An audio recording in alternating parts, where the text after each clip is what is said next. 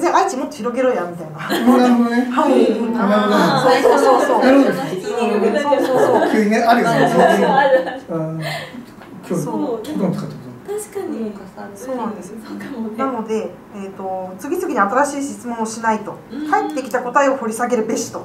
ダブルっていうのは一つについて二つとか三つ聞けるそうですねそうですね。じゃあ愛知県ですねって言ったらさらにどうやって聞くえー愛知県なんですね。愛知県のどこですか？ちょっとあの博士の個人情報にどんどん飛んじゃう。豊橋です。あ豊橋。豊橋はあれエビフライが美味しいですよね。それ名古屋です。それ名古屋なんですよ。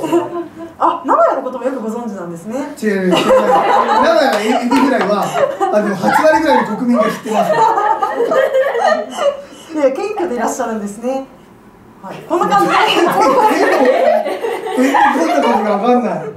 こんな感じでってすごい。こんな感じではい。あの相手の返事を拾ってまた広げるまあ、確かに会話でなんかこう行ったり来たりするけど何にも広がらずに全然盛り上がらないってことありますよね、うん。掘り下げるのはいいけど。そうそうそう。なんですよ。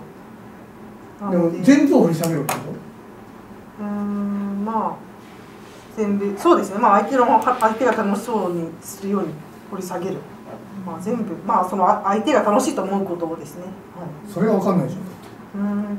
いやでもそれはさっき言ったはずですよ。としこの法則。と えー得意だって得意が何か分かんないもん最初のうち。うーん。まあでもそれはじゃあ拾おうまあ例えばなんか。だって愛知県って多分得意じゃないし関係ないじゃん。死はなんだっ仕仕事。け仕事。子はこうこう好物、で愛知県は飛ばしてもいいってこうん。まあでも愛知県の話してたらなんか出てくるんじゃないですか話が。あー得意仕事好物とかね。そう。そうそうそう愛知県から近かったんですかとか。あ仕事の話ってうん。嫌な人もいるかなあいるんだよね、う思うあの今うまくいってなくて例えば MR やってるんですけど、うん。もうやめたいんですよね。お医者さんにこびたりするのが嫌で、うん。なるほど。うん。ああそうですね。まあでもそういうとこの人はだって仕事めちゃくちゃうまくいってるもん。うんななな何十億だそうですね。まああとはそのオウム返しの法則も使えって言ってますね。はい。ああ仕事が嫌なんですねとか。ああなるほどね。そう。あとはとにかく笑って癒そうっていう。癒す。癒し。素直から外れちゃってる。ダブルクエスチョンとかトリプルクエスチョンなくなってるけど、はい。なまあまあのでテクニックがいっぱいあります。そうですね。じゃあ2次元目にはうんトシコの法則、スナの法則、ダブルクエスチョン、トリプルクエスチョン以外にもいっぱい書いてあるあありますね。そうですね。なるほど。だからこれを全部やっても全部ばらしたことにならないあこのレジュメを全部話しても、はい。まだまだいっぱいあるんだ、そうですね。あります。うん。まあそう100ですね。点です100 100点点ですがいいかも。すごいいいかも。そうですね。まああとは。しかも100点で なんかガタ可愛くないですよね。ガわかる。ガタ可愛100点くない。です楽天ね。なんかね「が」なんかがっていう言葉がねちょっと硬いっていうかそうか。なんか昭和確かにめっちゃ見てんだなと思いまあ確かに。いやみんな見てるでしょ。あの1回は。長寿番組だし。昭和通り越して江戸時代を想像しちゃう。合点ですよ。ああ合点承知ああなるほどね。はいはいはい 江戸時代を想像するって 生きてないですよね。いやいやどうぞどうぞ。はい、はい。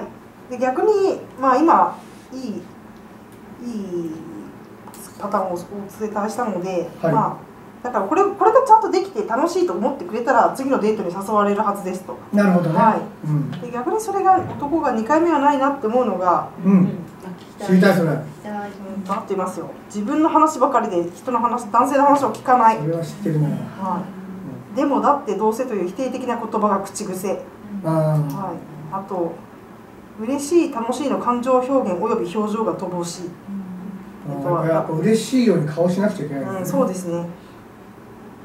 あと自分の不幸不運を延々と語る。うん。結局なんか自分を見てほしいみたいな感じがしてしまうあとは第三者の評論が話題の中心。あー芸能人の話ばっかりとか。あというかその目の前の相手じゃない彼じゃない話をする。ってうんことですね芸能人に限らず。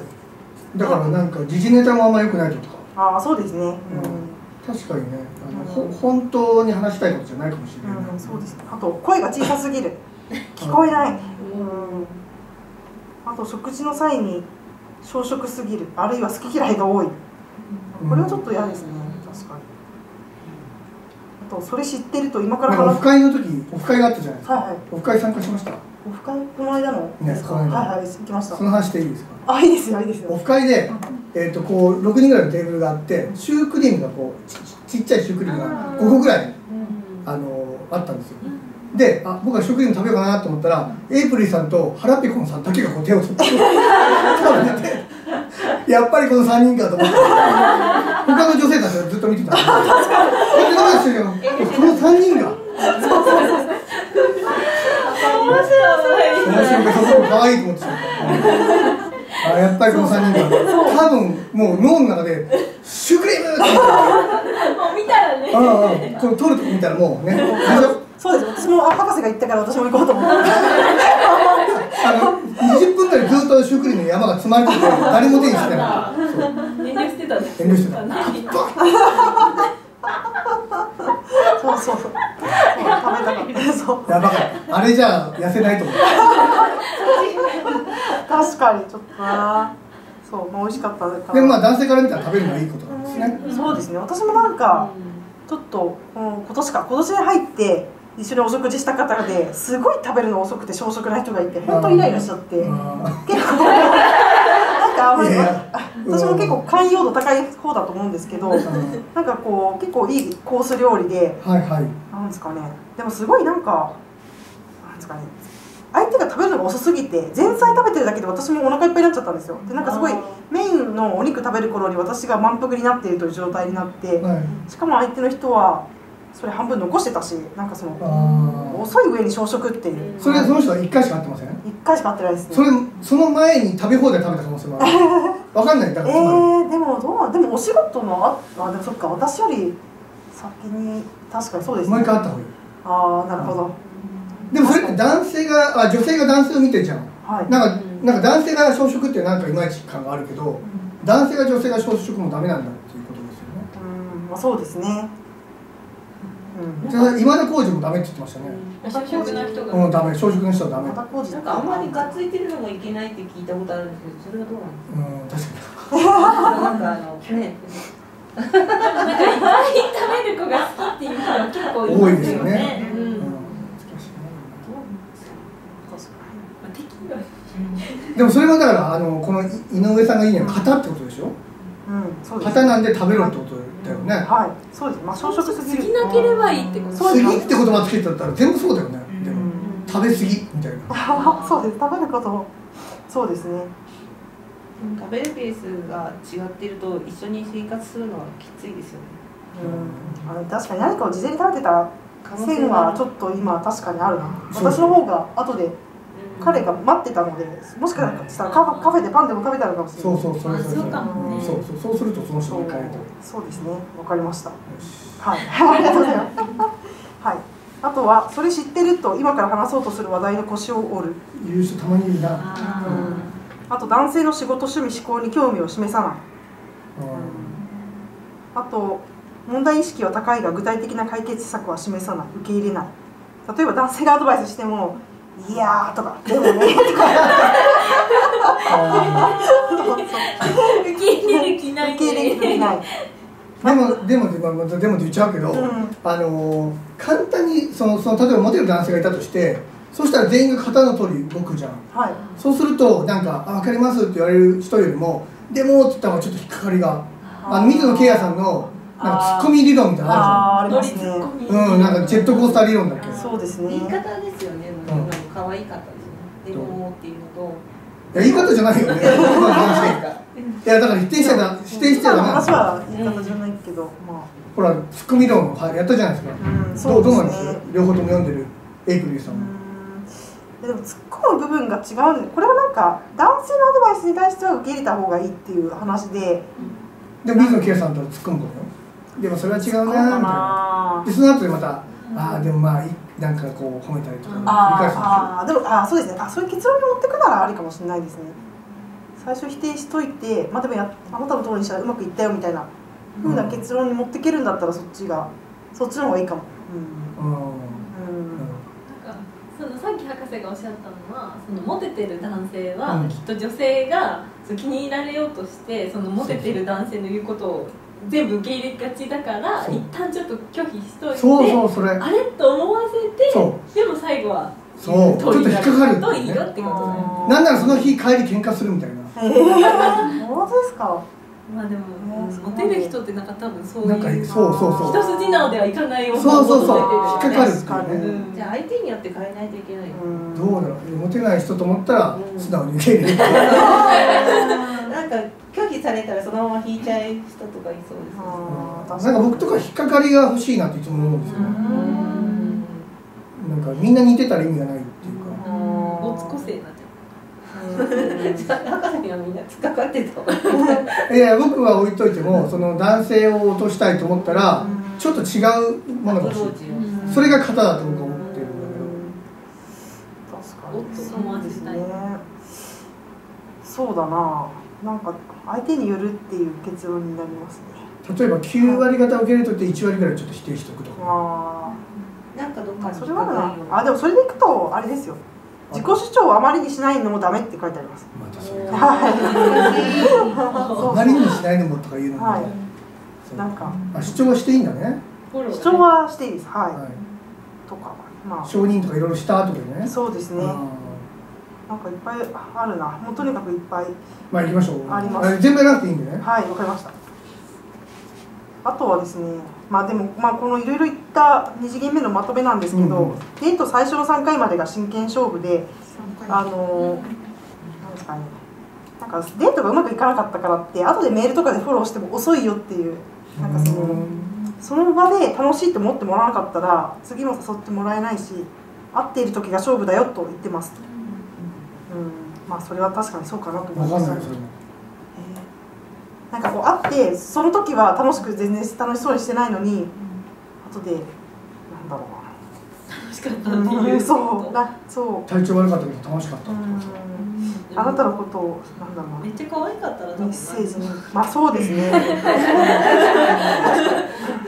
デートも楽しくなくてメールでもなんかうん。そういう感情悪かったらもう終わりですよね。だからせめてあメールだけではちゃんとで楽しくなかった場合。うん。まあ確かに。フォロー的なの。まあでもなんか、まあ、この人はメールで相手を人を好きにさせる自分を好きにさせるのは無理だって言ってるんですけどあれでも博士結構そういうのお得意でしたよねと思ってうん。そうですよね会う前に好きにさせるああだからちょっとすごい今自分の中で反論が。あともう一つそのなんでしょう。その男性がうん。その時期本当にあ仕事のことが頭がいっぱいだったりとか、なんか別の女性が頭にいたりするとそんなに楽しんでないかもしれないですよね、はい。でもそれでも実際にはまた思い出すかもしれないので、はい。その時楽しんでないと思ったとしても実は何か後でつながるかもしれないじゃんからから3回で終わりっていうのは違うなっていう。あーつなげ続けた方がいいよっていう。つながるかもよっていう。あつながる可能性はあると。なるほど。終わりじゃなくて勝負っていう3回までで勝負しよう。3回でダメだったら終わり。あ終わりなんですか？あそうですね。勝負でまあそのつもりでやるよと言ってます。ねそのつもりでやるようだったらいいかな やはり。うん。そうです。れだったら OK かな。まあうん。じゃあちょっとそこは。めちゃくちゃ上井上さん上からはい。じゃあ3次元目。うん。リフレーミングワークリフレーミングね、うん。あフレーミング。うんよくよくある言葉ですよね。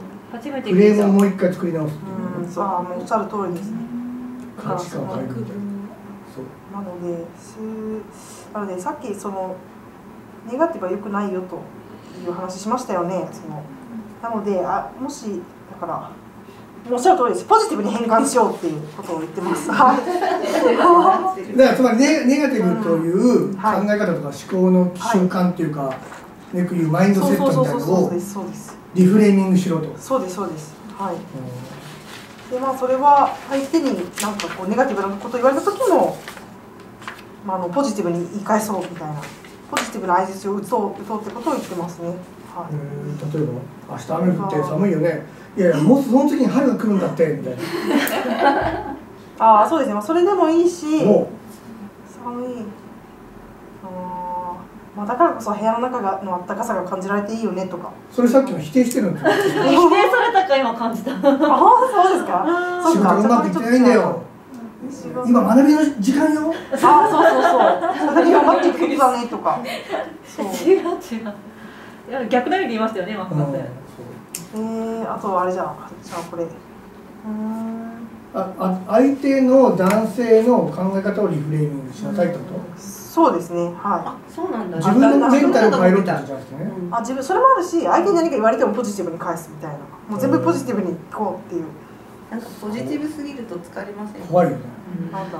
例えば。なんか宗教やってんのかなこの人あるあるまああるでもこのこの人はホストの間間はお客さんにそういうネガティブなことを言われたらすごいポジティブに返すようにしてたしその場で返せない場合はメモにの書いといてノートに書いといて家でなんて返せばよかったんだろうって考えてみたしそれはすごいね。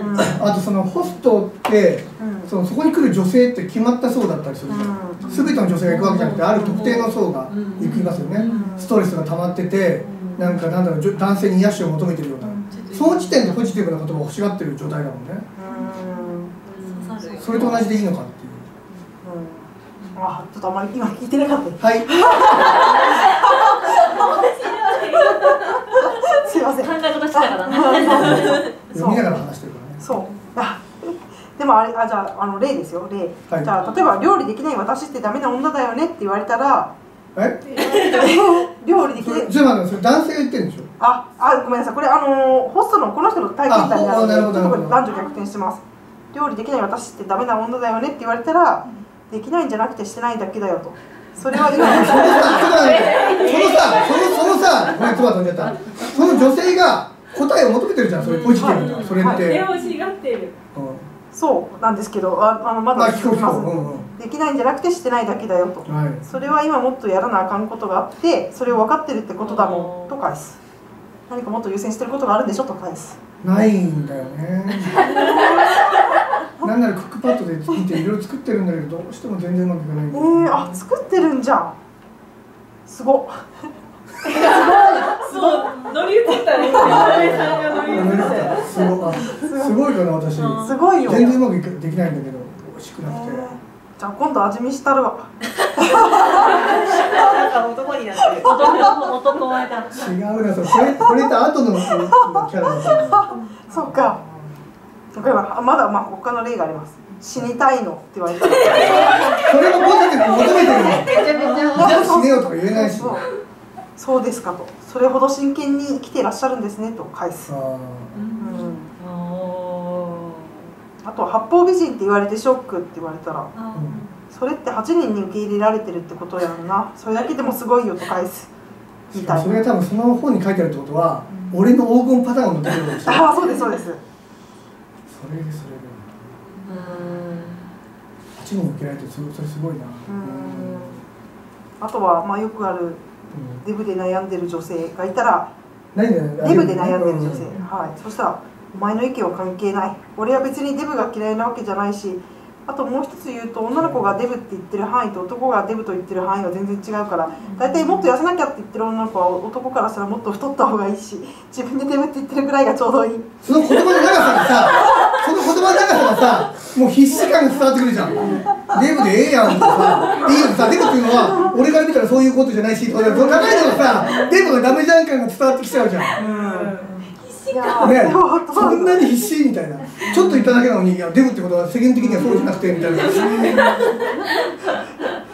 そうです。まあでもこれ聞いてたんでしょうね。聞いてたんだよね。いやでも分かんない。僕思うのがあの誰だっけ。まあいろんな人が本書いてるじゃんでそそれってこの人井上さんだったらそういう言葉も気をつけてたけどいろんなこと気をつけてると思うんですよ。うん。あの見た目とかさ。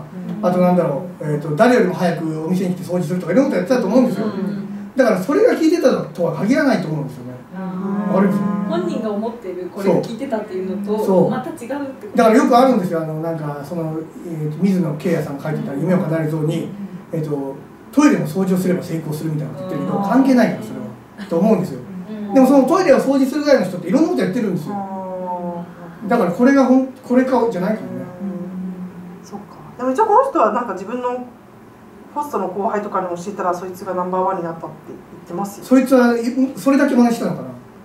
うんまあわそかんないですその人も多分朝早く来て掃除してる。あそうなんだまあまあそれは分かんないですね。確かに。その可能性はある。システム的になんかお客さんが最初にあの自分お店の中の一番気に入った人を指名してその人がずっとつくらしいんですよね。うん。だからもともとその人のこと好きなお客さんだからなんか何でも聞きそうな気がしますでもナンバーワンになったってことはそうじゃない人がなったわけよ。り指名されるようになったってこああたくさんお客さんを作ったってことですよね。とですね何人に受け入れられた？ホストに来るお客さんに聞いたっていうことですよね。だから。限られてますよね。うん。まあそうかねまあいやそういうふうにでも言う人はダメだってことですよ。素直にやれ素直の法則がそうそう。いつもは素直の法則あったっけそうそれすごいもうすごい。そうその素直。ですそういう意味そうい。う意味じゃないんですよこの素直はあのなんていうかなるほどとかそう。そうそういう素直な。はい。まあでもまあポジティブにリフレーミングしてあげましょう。そうですね。まあ癒されに来てるとしたらそうだろうな。じゃあもし男性が仕事で悩んでたらうん上司の評価がいまいちなんだよね。全然女子分かってくれないんだよ。うん。って言われたらなんて。そんなに仕事に真剣なんだ。すごいね あでもちょっと嬉しいかもあ嬉しい。ああそう。ポジティブに返すのね。確かになんか会社の後輩で25歳で1年経たず離婚しちゃった女の子がすごい25歳でバツイチになったことをこうすごく悔いて恥ずかしく思ってたんですけど、うん。それをちょっと持ってる感じの、あのー先輩が男性。男性が「い。やでも一度は結婚できたってことやん」って言って。その人も大阪人。そうです大阪人恐るべしでその子かなりそれで、あのーメンタルが回復してましたね、それでもモテる先輩に言われたからじゃない？あーまあ。と大阪弁で言うと違うよね。ああーそれはかもしれないです軽くなりねますよね。なんて言われると、うん、ちょっと軽くなるそうですね。それはありますね。はい。だからまあリフレーミングうん。ポジティブにやポジティブっていきましょう。で返すはいポジティブで OK ポジティブに返すね。そうですね。うん、やろう。うあとがまあ4次元目入るんですけどうん、はい。男を落とす大好きなあの人にプロポーズさせる。まあ振り子の法則はもう飛ばしてこれはいいか何だろうえっともう付き合ってるってこと？そうです。プロポーズさせるってこと？もうはい。付き合ってるけどプロポーズはしてくれないっていうこと？そうですね。でもなんかそこまで厳密にあそうか。やってないか家族の厳密な定義はしてない気がする、うんで振り子の法則は飛ばすのね？飛ばします。いいですよそれ 飛ばす判断を褒めていただきありがとうござい一ます。番これが面白いかもしれないけどあえて飛ばすんですね。そうですね。いいですよ。これは買って読んでいただければと思います。はい、あとはそこで立ち読みするっていう。甘える技術。はい。甘える技術。はい。あこれはなんか名前でタイトルで分かっちゃうもんね。そうですね。あでも甘えるのがうん。下手なんですって困ってる女性結構相談してくる、うん。ああみどりさん。あみどりさんのために甘える技術を、うん。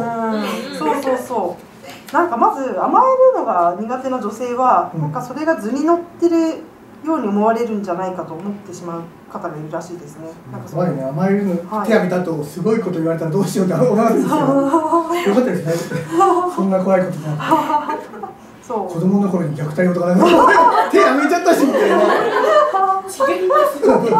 ごめんなさはい。い、そうですね。まあ、ただ、その。あでまあ、まあでもあのおっしゃる通りこれも付き合ってる前提なんですけど、うん。まあ、その男性はもう自分の大好きな彼女を喜ばせたいという欲求を強く持っていますと。うん。だからあの逆にそのデートの時にたと何が食べたいと聞いて何でもいいって言われたりとかどこ行きたいと言われてどこでもいいあなたの好きなところと言われると結構正直ムカつくと。うん。どうですか？あこれは言うな私。あそうなんですか、ちゃんと行きたいところを言うと食べたいものもうん。うん、そろそろアリスさん質問あります？いやなんか私も甘えるの苦手で。おお来た来た、うん。なんかでもどうやって甘えたらいいのかわかんないですよ。アリスさんはどこでもいいって言っちゃうタイいや言うんですけど、うん。なんか例えばなんか街中でイチャイチャしてるカップルとかいるじゃないですか、はい。でもなんかそういう人にはなりたくないなって自分でプ思っちゃってて。で改札の前にずっとくっついてるやつ。甘えるってそうなのかなとか思う。違う。ちょっと教えてくださいよ。そうですね。はい。あのーまあそういうことではありませんね。はい。で、ああでもこれは本当に博士の言うなんだっけ。500日のサマーみたいな感じじゃないかああ映画ね500そうですねはい天真爛漫で無邪気な女性に振り回されるのは男にとっては楽しい逆になんかもういやいいの。もうあなたさえ良ければいいのっていうのをずっと繰り返す女性はなんかつまんない。その甘えるっていうのはなんだろうあのサエコみたいな感じかな勝手にイメージで言ってるけど。あれ買ってほしいとかあこう天真爛漫に甘えてくる。あサモデルのモデルのサイコ。とかってああ甘え上手っぽくないですか、えーもう声もね可愛いし、うん。そう。ーえなんかー、最高うんえ最高。あのダルビッシュ有の？ああ分かる。あじゃあ一緒だ。そっ か想像してたんですねあとなんか神田馬とかも上手っぽくない？あなんか甘え上手っていうかさこれ欲しいとか言いそうじゃん。でもあの人はなんかちゃんと相手も立ててる気がするんですよね。あのあー最後と違ってってこと？結婚式の婚約発表の時に指輪をしてきたじゃないですか、はい。パチンコの。絶対本人あれ嬉しくないと思ってると思うパチンコの指輪してたんだパチンコ玉をあの真珠に見立てて、へでもそれをみんなの前でこう見せびらかしてたからあこれを旦那さんの職業を素晴らしいものだとあみみんなに認めさせたいんだなっていう。違うな。違う。えー違う思う。にあれはあのこう神田馬の悪口になっちゃうけど、彼女は自分のブランディングが重要なんですよ。だから女性がこうあるのが成功ってことだったら、うん。そういうふうに上鶴さんに思わせることも含めてブランディングですよ、そうなん。です好感度とかま好感度ですよすもんね。まあすごい低いけどね。今の一番甘えるのが苦手な人って多分そういうふうになんか甘える自分が恥ずかしいとかちょっと甘えることに抵抗があってできないんだと思うんです。拒絶されるのも怖いしね。あー。でも彼氏だったら大抵のことは聞いてくれますじゃあ彼氏じゃなかったら。彼氏じゃなくても甘え甘えた方がいいと僕は思うんだけど、うんそれはそうですね。どうやってどうします？そうちっちゃいことからお願いしていくんですよ。例えばペットボトルの蓋が開かないとかうん。ペン貸してとか。手抜いてあげろ なんか少しずつやっていくとあの慣れてくる。甘える。まあペットボトルじゃなくてもいいんですけど瓶の蓋開かないとかまあ瓶があんまないか。ないね。まあペンをちょっと借りるとか。ペン貸して、うんああるある。大学で言ったらノート借りてくる女性。あーうんうん。全部あんまり刺してにもね借りてる。とちょっと呆れられるんでそうそう。さじ加減とかうん結構大事。ちょっと頼るってことね。そうそう。相手がこれぐらいだったら許されるだろうっていうところが多分あるある。分かると思うんですよね。少しだけ5階のボタン押してみたいなエレベーターで、うんうんうん。ちょっとだけ荷物持っといてくれないとか。うん なんか重重くてみたいなはいはいはいはいはいあでーやってくれたらもう本当ありがとうっていういうふうに言うとうんなんか助かるわみたいなの言うとすごいうんいい多分分かっていただきましたよ慣れていく気がするんですよできどうどうですかそうにないですそんなこと分かってるいやでももしなんか「えー」とか言われたらどうするんです辛いよね思いも持ってえー、俺も持ってるしいややだよお願いってやだよ。チッて。チッて言ってじゃあ誰々君に頼もうとかそういう感じとか。はいみどりさんどうぞ。ああ今ないです。ないですか？あそれで合ってるのかな？ってそのはまあそうですね。はい。だって甘える技術って書いてあるんだよ。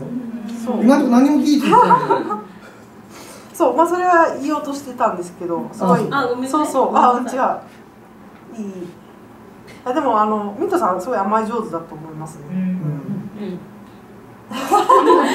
それね井上さん。目線で言ってるのがエイプリルさん。個人的にそう思ったのか個人的になん。かそのなん。かどこどこの一一度どこどこのお店に帰りに行こうって言われたことがあってうん。うん。すごいなん。か可愛かったのについていきました私は、いや食べ物にさ普通に行く人ですもん。ね確かに食べ物のお店だと思ってたのもあるん。ですけどまあでもた頼み方が可愛かったなと思って。わかります？ちょっとじゃあエイプリルさそう。そう。であとこの本での甘え方の例でいくと、えっと、嫌なことがあって今日は悲しい気分だからギュッてハグしてくれない？ってう彼氏がね。そうそうそう。あつもう付き合ってる前提ですあとはそうあとは作った食事が美味しかったらありがとうって言ってキスしてほしいのそうしたらもっと頑張れるからとか言ううまくいってる人たちよなうんそうですそねれじゃラブラブ記者はいつできない。うん。母が父に言ったらゾッとしますよね。両親のラブラブさが嬉しいですけどね。あのこの人が今はまあそういうふうに女性を扱ったら喜ぶんだったらあなたが彼を教育しなさいって言ってますね。教育しなさあいじゃあどうやって最初はどうするの？最初は